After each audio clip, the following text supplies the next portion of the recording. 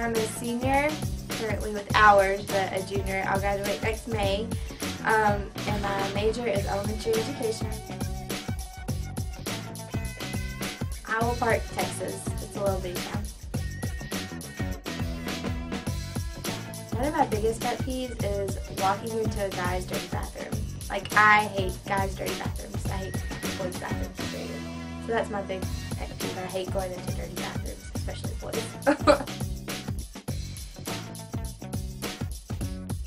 Students should be a part of Greek life because it offers them like so much more like self-confidence and a chance to grow and learning like more about themselves. Being in like a Greek organization, you get to be so involved on campus. You get to go to do philanthropy events, which is like working with local charities. You get to be involved with the football teams, baseball teams. Um, you just get to do a lot on campus and it makes you more aware of everything that goes on. It makes you more grateful for like who you are and the school as itself.